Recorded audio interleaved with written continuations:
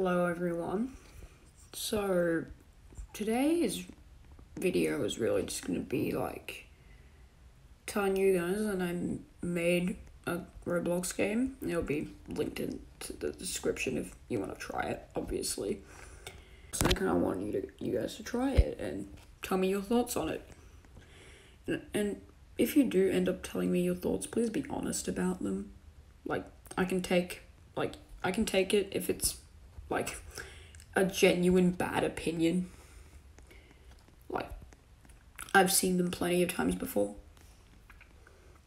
Uh, reminder, linking the game in the description if you want to try it.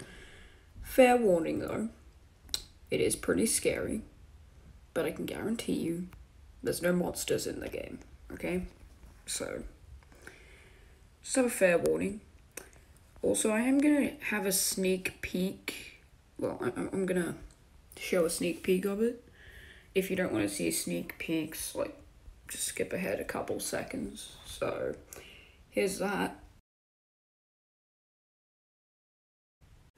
Also, if you have played it, please give me suggestions on what you'd like to see in the game. And, uh, yeah, uh, that's really it.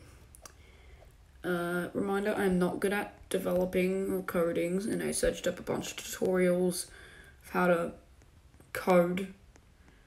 And even now, I still don't have the brains to do more than like a sound code or something. So take that into consideration. Anyways, thanks for watching. Bye.